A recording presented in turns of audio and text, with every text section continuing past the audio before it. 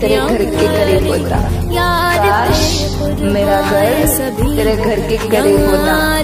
बात करना ना सही। कम से कम देखना तो नसीब होता। ये मेरी जाए ज़िंदगी। इश्क पे हाँ